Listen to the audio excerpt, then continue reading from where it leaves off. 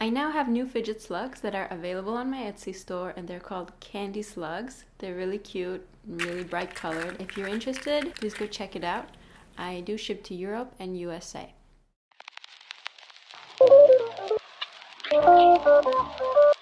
Hello everybody, welcome to our channel and today we're going to talk about you don't know, do you? No.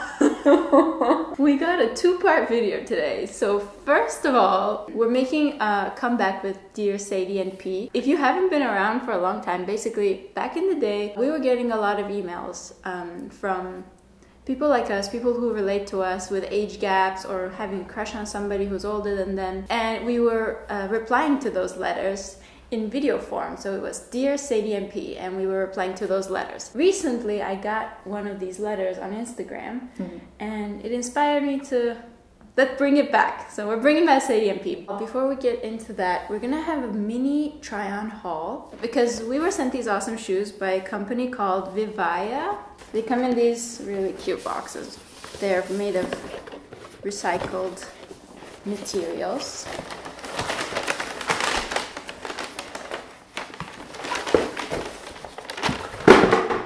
Good job.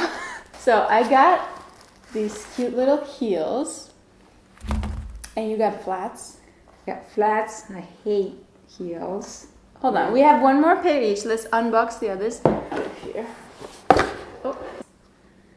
Okay, and let's do a little try on haul. You can go first, and I'm gonna talk about like some of the features of these shoes because I think it's really cool. We got a little foot cam going on over here, by the way. Look, let me set that up. Hold on.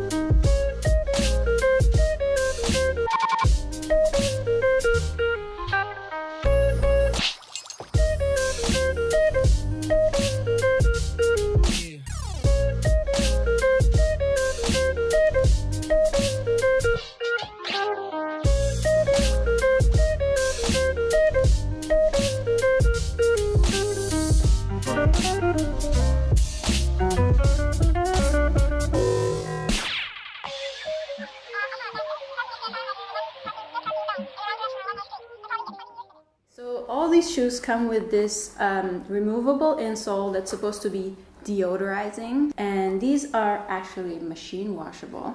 The flats, not the heels. The heels you can hand wash. And if you know, want to know, my size is 38 and a half. My size is 40. You have very narrow feet. I do. I must admit.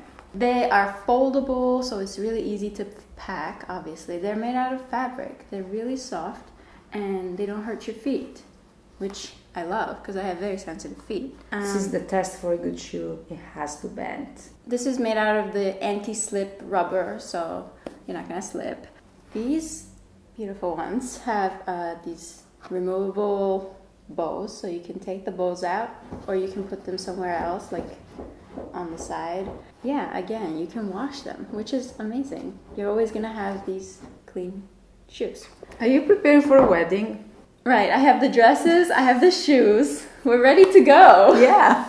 I love it. Anyway, so if you would like to get yourself a lovely pair of shoes, they are very comfortable, by the way, I have to say. Like, the backs yeah. are really soft, and there's like a little cushioning in the back, so it doesn't hurt your heels. And you can use code SADIE for 18% off your order. Thank you, Vivai. VIVAIA? I keep VIVAIA. saying Vivai. VIVAIA. It seems like Okay. So let's get into the letter. Okay. Okay, so this letter was sent to us by Isabella, and she said I could say her name. So okay. I'm going to say her name. Okay, so she wrote Well, the thing is, I've been into older women my whole life, even before realizing I was not straight. In fact, my crush was my kindergarten teacher. After that, I had a crush on my mom's friend in elementary school, my English teacher in middle school, my Spanish teacher in high school, my biggest crush at that point. Of course, I'm in love with Cate Blanchett and other middle aged actresses, but I'm talking about real people right now. Then last year, a girl who's one year younger than me asked me out, and after dating for a month, she told me that she only wanted a friendship. That absolutely broke me. and I'm finally recovering from it after a year, even if I still low key love her. But then a month ago, I started going to painting classes, and with just two lessons, I fell so fucking hard for my teacher that I feel like I'll never want anybody else. She's 23 years older than me, but I was shocked at first because she seems incredibly younger. I've never seen her without a mask, and that sucks, of course, because I have no idea what she looks like. but honestly, at this point, her eyes are just enough for me. She's also very petite and feminine, like a little fairy if you want, and it's perfect for me because I'm very tall and muscular, and I like the opposite of my aesthetic when it comes to relationships. But I also love her smell and her voice so much that I could cry. I know I seem so dramatic because I've seen her for literally 12 hours in total, but I fall very hard very quickly. I hope you can relate, lol. So, my question is what should I do? I think she's straight, but I feel like she wouldn't mind finding herself in love with a girl. I don't know why. I know that I'm one of her favorite students and that among all the things we've talked about, we agree on everything. But that's just it. The big problem is that when I'm in love, it takes so long for it to fade away, and I'm scared that that's going to stop me from being able to love someone else in the meantime. I don't know if you have an answer for me, but even the smallest advice is well accepted. Very nice letter. Thank you for writing to us. And Well, uh, I can relate on a lot of things because Yeah. I remember having a crush on my kindergarten teacher, but I didn't know it was a crush at the time. I just felt like fascinated by her. mm, And I had a crushes all throughout primary school, middle school, always on teachers, so mhm. celebrities. Idina Menzel was my like big crush when I was young. Anyway, so what would we give as advice? So there's 23 year age gap, Mhm. a bit less than us. We have 28, So- and she doesn't know yeah. if she's gay. So uh, this message, uh, I mean, the message from me is this one. Uh, I'm not gonna give you like advice about um, find out if uh, you know she's straight or she's not, or ask her out for a coffee. No, absolutely not. What struck me about your letter is your feelings and. Uh, and the way you feel, the way you fall in love. Like as soon as you saw this person, you immediately fell in love with this person. So, what I'm telling you is not to let this feeling go. So, my message is not about, again, the, the person you fell in love. It's about your feeling. Grasp onto it. Just hold on to it. Yeah, you're a beautiful person, okay? You're a beautiful person. I can feel it. And it doesn't matter uh, if uh, you are keeping on loving someone being in love with somebody, it will prevent you from falling in love with somebody else. That never happens. If that somebody else will uh, be on your way, you will, it, and it's destiny, don't worry, you will fall in love with the other person, okay? Uh, maybe the right person for you in order to start a relationship and everything. But this is really you. Like what you're feeling right now, the love for this teacher is you. Hold on to that. Do not forget. And when you like you are like uh, oh I cannot I cannot obtain this person. I'm in love. That doesn't mean that you have to obtain this person. That means for you to hold on the feeling you have. I don't know how else I can explain this. Is it is it clear? Yeah, kind of. Like, I've had a lot of platonic crushes as well, like unrequited when they Yeah. don't respond. yeah. Um, because mostly they were straight in my case. Like all the older women I had crushes on, my teachers, they were all straight. So it wasn't even a question of whether I can be with them. It was just like, I know it's one sided. And I was I was like you. I was like so in love with my Turkish teacher back when I was in Istanbul. And she was older than me obviously. And I was like in love with her smell, in love with just like her energy, anything, her voice, her face, everything. And I was totally like obsessed with her in a way. But I I never came forward because I knew my feelings would not be reciprocated and I knew if I did that our friendship would end. So Well, this is the thing: is that uh, I'm seeing a requited love in a different way. Uh, at this point on, in my life. Unrequited love is always seen as something hopeless because we are focusing too much on being rejected or on this other person being unattainable. for uh, many reasons. Maybe this person is not gay. Maybe this person is gay but is with somebody else. It can be any reason. So, and it's always seen in a very like a, um, Negative way. negative way. But really, uh, unrequited love should be seen as uh, an opportunity to not to focus on the person you cannot have, but to focus on your feelings that you're having in that moment. Because that feeling is precious. That feeling of feel, feeling in love is absolutely priceless, all right? So bathe in that. Do not focus too much, I'm not gonna have this person. Just bathe in that feeling because this is your, your true self. And it's amazing. Just, Yeah. you know, lighten up the fact that uh, uh, you might not have this person because it's not the point of unrequited love. At least this is my conclusion.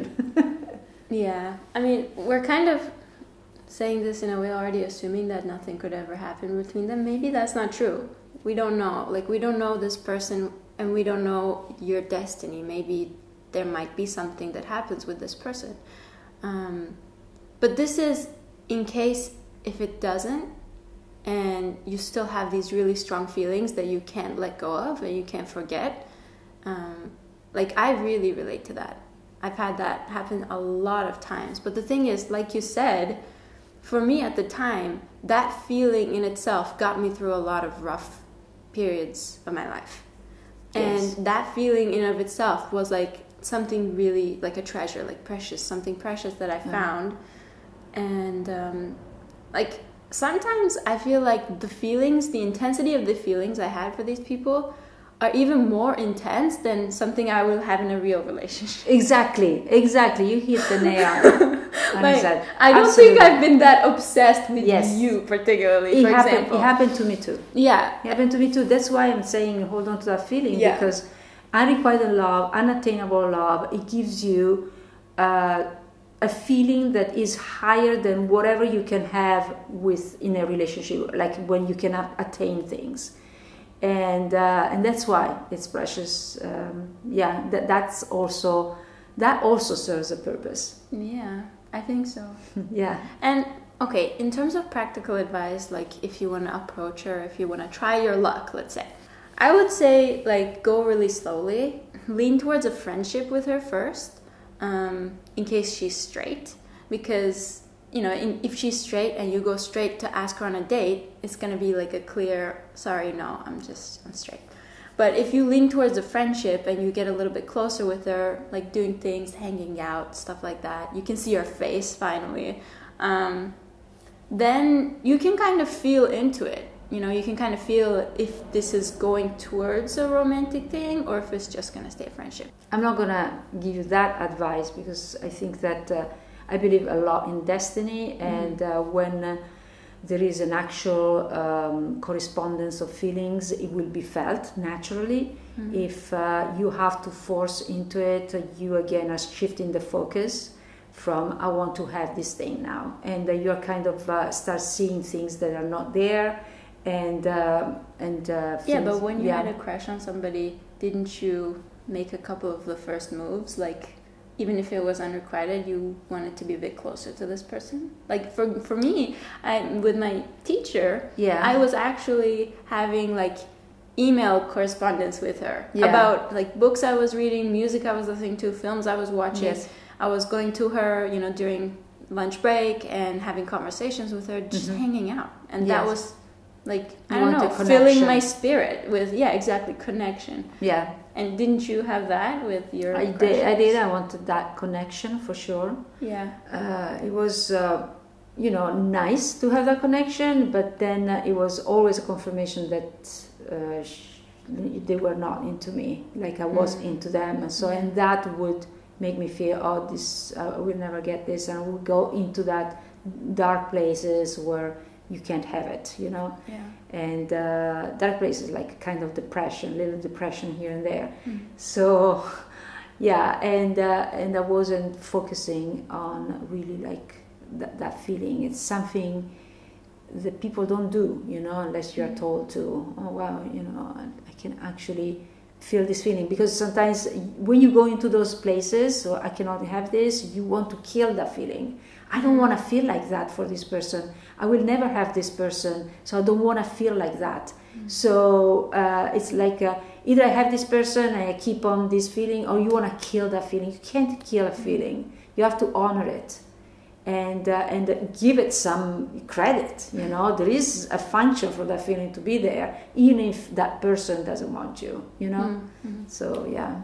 Yeah, I mean, when I look back at my all of my unrequited crushes, inclu- including celebrities, oh, like it's always a fond memory of what I felt, even what I imagined with this person. Yeah. It could never happen. Like I had dreams with these people, yeah. you know, and yeah. things were happening in my dreams but I knew they were not going to happen in real life. So yeah. even that's something precious, I feel like.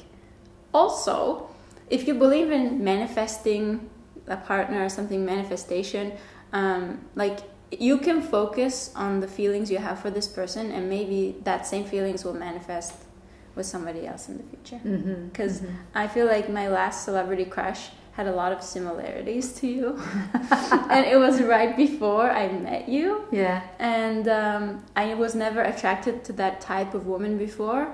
But then I was attracted to her a lot. And I feel like it was priming me for meeting you. Yeah. You know? So it could be something like that too. You never know. By the way, this person was Lana Parrilla from Once Upon a Time. So, yeah, I hope this helped. Uh, really. And uh, thank you again for writing to us. And we invite other people to, to write to us if they want to. I'll put um, our email right here yeah. and in the description. And we can do more of these. Yeah. I kind of miss these. Yeah, I kind of miss them too. So thank you for joining us. Uh, don't forget to check out VIVAIA mm-hmm. if you would like very comfy shoes. And they're good price too. Yeah. They're not very expensive, so that's good. Yeah and thank you so much for uh, uh, you know supporting this channel. And uh, thank you so much for those people from the very first day that we opened this channel. You know they they've been there like faithful you know to this. And uh, thank you so much for all your support. We love your comments. Even if sometimes the comments are not that good just comment. Just comment and give your opinion. And uh, wait i want to know yeah. let me know in the comments of this video if you've been watching us even back when we were doing the Dear Sadie piece. I want to oh, know yeah. how many of you remember this and how many of you missed it. Yeah. okay, so big kiss to everybody. See you next time. Bye.